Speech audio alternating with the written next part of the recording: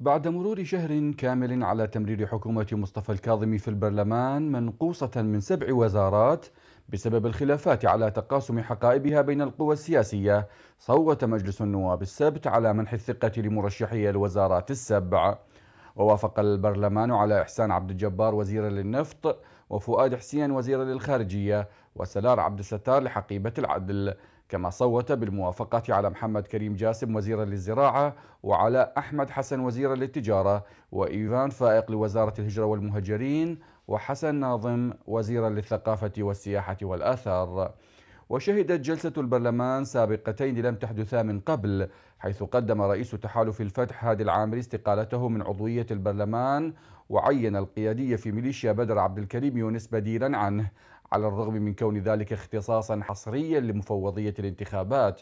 ولم يعترض رئيس البرلمان محمد الحلبوسي بل أكد موافقته من خلال طلب عرض البديل على البرلمان لتأدية اليمين الدستورية.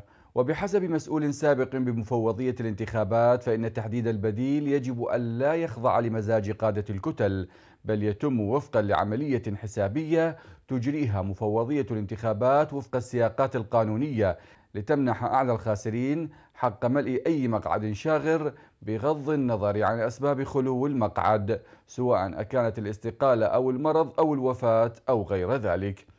السابقة الثانية كانت تصويت البرلمان على استحداث وزارة جديدة خاصة بالمكون التركماني وهو ما لم يحدث في الدورات الماضية إذ كانت البرلمانات السابقة تصوت على استحداث وزارات لترضية بعض القوى السياسية إلا أنها لا تشترط منحها لمكون محدد.